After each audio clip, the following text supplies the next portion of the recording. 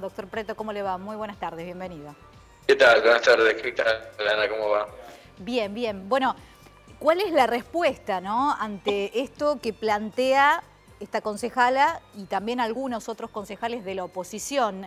Eh, ni siquiera se deberían contemplar según lo que ellos aducen, aunque uno entiende que es lógico, ¿no? Cuestiones de salud, cuestiones de fuerza mayor que a cualquiera le puede pasar, y también para representar, en caso de estar representando al Consejo Deliberante de la Ciudad de Córdoba. Bueno, ¿cuál es su, su palabra con respecto a esto? El planteo de los concejales que se oponen. Sí. Dicen que el medio es válido para participar de una comisión que es donde más se trabaja la ordenanza y donde se definen los textos, los acuerdos y se emiten los despachos, pero no les parece bien para la sesión. Entonces, yo no, no hay una explicación por qué esa diferencia cuando el trabajo más arduo de la ordenanza se hace en la comisión. Por otra parte, la tecnología ha evolucionado y ha permitido en los últimos tiempos eh, evolucionar en el funcionamiento de las instituciones y si nos comparamos con la ONU, con OEA, con muchas organizaciones importantes, aunque no, le, no les guste a los concejales, pues somos la primera ciudad de Argentina, somos una ciudad global, tenemos 1.600.000 habitantes y perfectamente nos podemos comparar con la ONU, ¿por qué no? Ahora, si un médico puede operar a 10.000 kilómetros de distancia manejando un bisturí por estos medios, un docente puede dar clase, un alumno puede educarse por este medio, se producen en la industria muchísimas tareas a través de estos medios que vinieron para quedarse después de la pandemia, porque descubrimos que las instituciones funcionan, los problemas se resuelven y es un medio que contribuye con el trabajo, es un prejuicio no aceptarlo para la sesión cuando lo aceptan para las comisiones.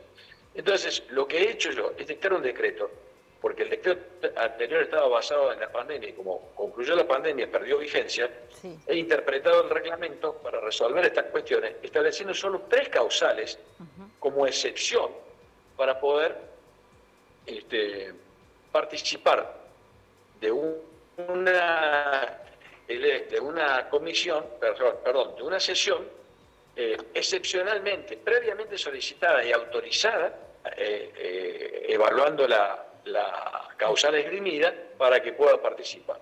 O sea que lo tienen que hacer con anterioridad, tienen que avisar que, se, que van a estar virtualmente. Bien. Por supuesto, y vamos a controlar que efectivamente sea la causal, porque mucha gente dice, bueno, pero pueden inventar un certificado médico. Bueno, eso sí no es ético. Inventar un certificado médico no es ético de parte del concejal. Por supuesto, además está comprometiendo un profesional de la salud, ya es un delito que comete el profesional, pero eso sí que no es ético. Ahora, que no sea ético o que le parezca una vergüenza que con la evolución tecnológica podamos avanzar en el tratamiento y la discusión de una ordenanza, no tiene ningún sentido. Además, el vecino. ¿Qué le importa? ¿Que le resuelva su problema o le importa conocer cuál fue el método por el cual participó el concejal y pudo esgrimir su posición en el debate de la ordenanza? Al vecino le interesa que le resolvamos los problemas, no cuál fue el método por el cual participó el concejal. Y además la, no, no, continúe, continúe, doctor. No es la única tarea que hace el concejal. Por supuesto, hay concejales que trabajan poco y pensarán que solo trabajan el, jueves. El concejal que quiere trabajar, trabaja todos los días del año con una ardua tarea en territorio, en el escritorio, con sus técnicos, analizando la legislación, emitiendo eh, proyectos para ser discutidos y, y sí en el plenario se debate al final para ser votada la ordenanza. Pero el trabajo más importante de la ordenanza es en la comisión. Para esa situación sí lo aceptan. Para eh, la sesión no, y la verdad es que los argumentos son, muy flojos y no explican por qué lo aceptan para una cosa y no para otra. No sé si me escuchan. Sí, sí, sí, perfectamente, perfectamente. Incluso, bueno, eh, ha cambiado la tecnología, eh, tanto, nos ha dado tantas herramientas que incluso en los propios medios de comunicación, lo, lo, ven permanentemente, los televidentes, los oyentes y demás, que la herramienta del Zoom es sumamente válida para poder contactarnos, conectarnos y bueno, eh, de hecho, estamos, estamos, miren, ahora estamos, usted está cumpliendo una función de periodista, mm. yo como presidente del Consejo Liberante, y lo estamos haciendo por un, medio telemático. Claro.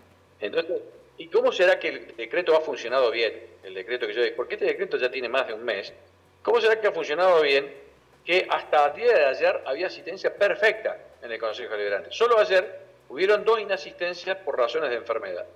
Entonces, quiere decir que si la excepción es una excepción, los concejales están entendiendo cuál es la situación y están participando presencialmente, que es la regla. Eh, el decreto consiguió que se evite esgrimir cualquier causal para no ir al, recinto. Están con ascendencia perfecta desde la vigencia del decreto. No hay ninguna razón para este, manifestar, eh, el, por lo menos no hay una razón válida, con un fundamento lógico que permita la participación por Zoom en la comisión y no en la sesión. La verdad que no se explica.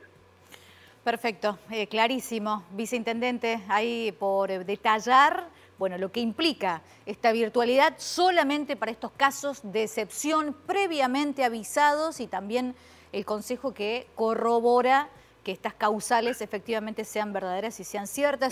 y, bueno el dato de la presencialidad que, que, dijo al último. Importante. Eh, hay, una, hay una concejal que ha esgrimido una razón de fuerza mayor. Sí. Y ahora se le va a requerir que acredite cuál fue la razón de causa mayor. No es el título lo que tiene que esgrimir, sino tiene que explicar cuál fue la, la, causa de fuerza mayor que le impidió asistir a la sesión. Si no, está, si no lo acredita, se le va a formular el, el descuento correspondiente a la dieta como está establecido en el reglamento interno. Bien, bien, viceintendente, le agradecemos enormemente esta comunicación con Crónica Semanal, con Canal 10, los servicios de radio y televisión de la Universidad Nacional de Córdoba.